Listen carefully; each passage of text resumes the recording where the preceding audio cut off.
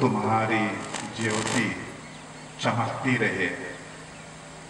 जिससे तुम्हारे भले कामों को देखकर सभी लोग ईश्वर पिता की महिमा करें। मेरे अति सम्मान